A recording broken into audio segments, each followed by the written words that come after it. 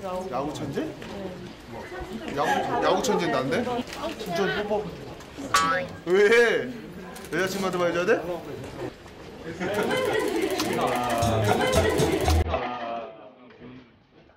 왜 얼었어? 자,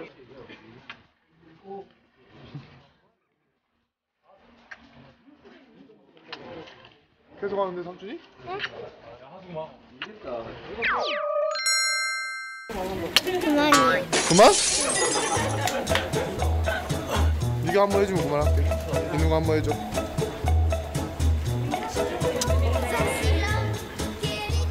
내려줘?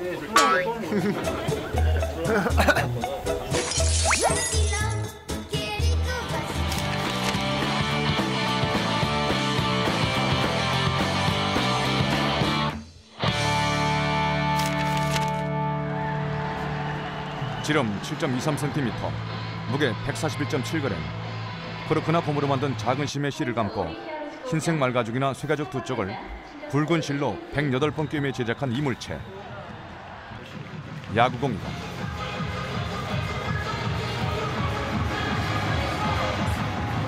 오늘 얼마나 왔다 갔다 하신 것 같아요? 오늘은 SK 쪽이 점수를 많이 낼 때는 더 많이 왔다 갔다 하거든요. 음, 공, 공만큼 나가는 것 같아요. 90번에서 100번 정도. 똑같은 크기의 이 야구공을 모든 투수들이 만족해 하진 않는다.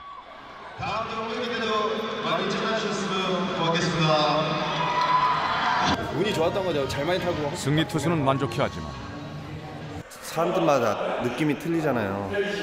어떤 사람은 얇은 실밥 좋아하는 사람도 있고 어떤 선수는 또 두꺼운 실밥 좋아하는 선수. 그러니까 이제 저는 저는 좀 개인적으로 좀 선수 치고 손이 좀 작은 편이어가지고요.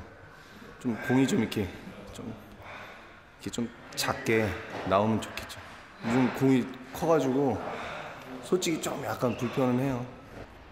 저는 이제 실밥이 두껍지 않고 좀 얇아가지고 좀 나온 볼을 좀 좋아하죠. 게임 도중에 바꾸는 게 그럼 그런 것 때문에 다시 바꾸는 건가요? 새 공인가요? 그렇죠. 이제 너무 이제 공이 이제 좀 안 좋게 나오거나 이러면 바꾸죠. 왜냐하면 투수 공이 이게 변화가 심하면 자기가 보- 장본인이 치기 힘들잖아요.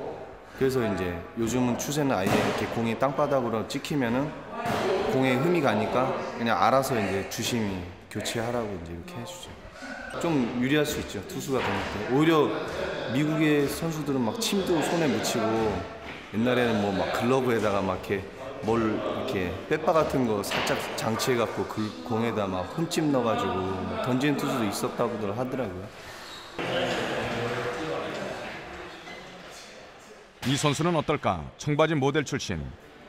2003-2004 시즌 10승의 주역. 나름 슈퍼스타였던 재춘모. AS 받고 있는데. 공익 근무 후 복귀했지만 1군 마운드에 다시 서기가 쉽지 않다. 지금 나오긴 나와요. 그의 몸은 뻣뻣해졌지만 젊고 푸릇푸릇한 후배들이 너무 빨리 성장하고 있다. 아, 끝에.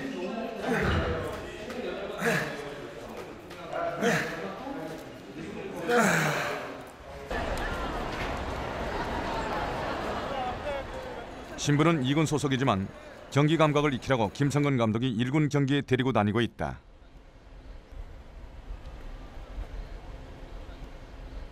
앞으로 얼마 정도가 더 걸릴 것 같습니까? 모르겠어요. 감독님이 오케이 해야 던지는 거 아닌가? 이군 가서 일단 게임을 많이 던져야 돼요 지금. 게임 던지고 감각 익히고 준비만 잘하고 있으면 부르지 않을까. 몸 상태는 이제 거의 다 올라왔고요. 어깨가 좀 많이 던져서 안 좋은데 어, 근육통 정도 이겨내야죠.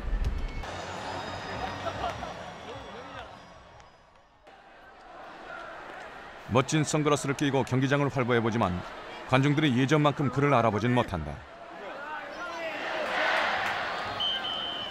대신 좋아하고 안 좋아하고를 떠나서 모두가 알아보는 투수가 마운드에 서 있다.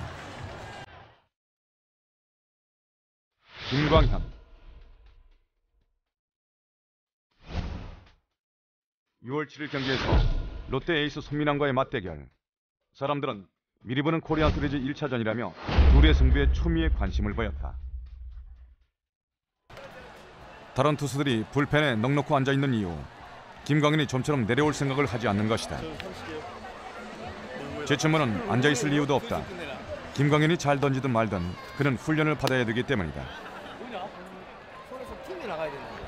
팀이 나가는 게 아니라 2년 공백이 있으니까 어, 2년 쉬었다는 게 상당히 큰 거지만은 뭐 원래 피칭 그런 운영 능력이 있는 친구니까요. 근데 지금 제가 보기에는 아직 그 체력적으로 전에보다 좀 약해지지 않을까 생각이 들어요.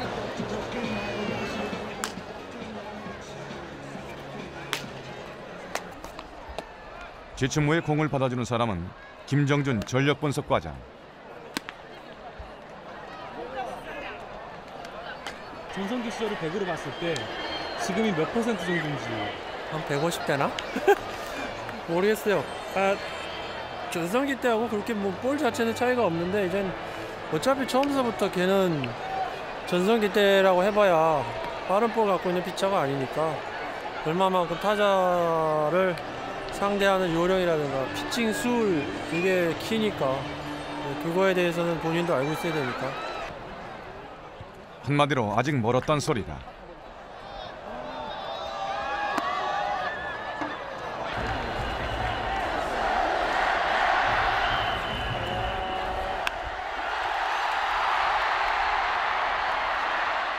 6회가 끝났지만 김광현의 투구수는 채 60개가 되지 않았다. 양팀의 에이스가 나온 탓에 좀처럼 안타가 나지 않는다. 7회 초 박정희 희생 플라이로 드디어 점수의 물꼬가 터졌다.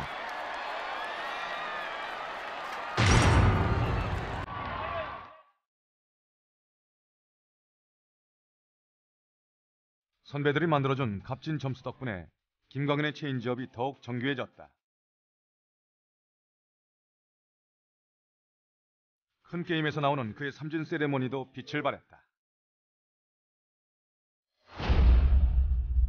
9회 말 마지막 등판. 부산 갈매기들은 김광현의 실투 하나를 기대하는 눈치다.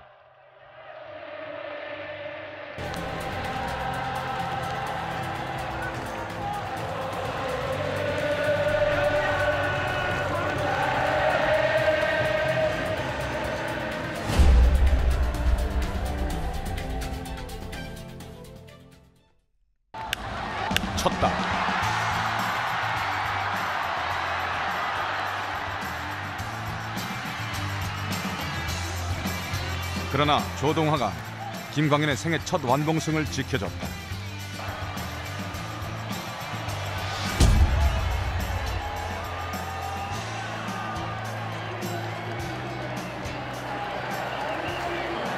역시 최고 피처야. nice 화이팅 SK.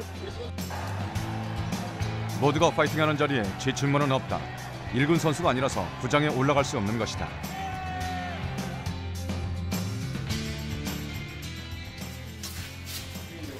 취재진은 아이싱하는 김광현을 가만 놔두지 않았다.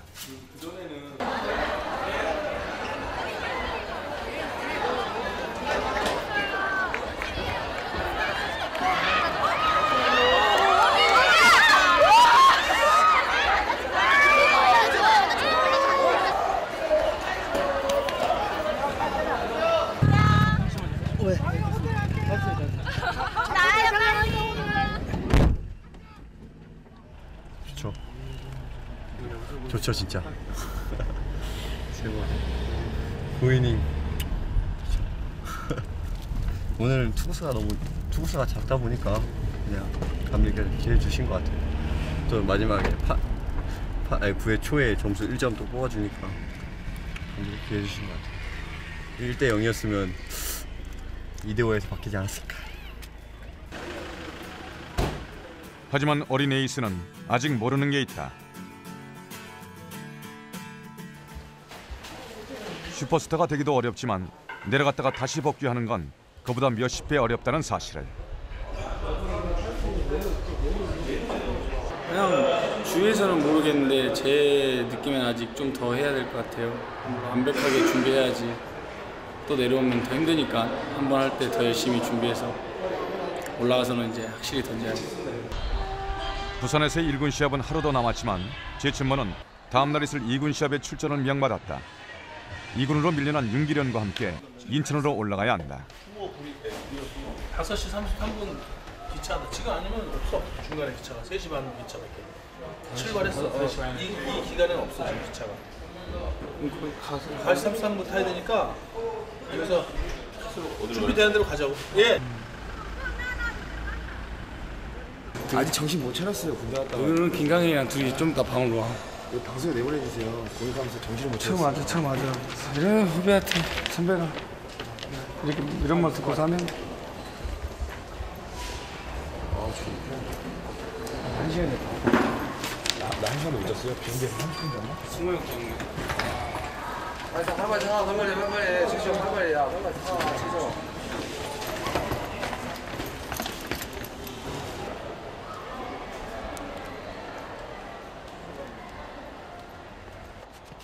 야, 이 가방 또 갖고 가야 돼. 모처럼 어린이들이 지춘모에게 인사를 한다.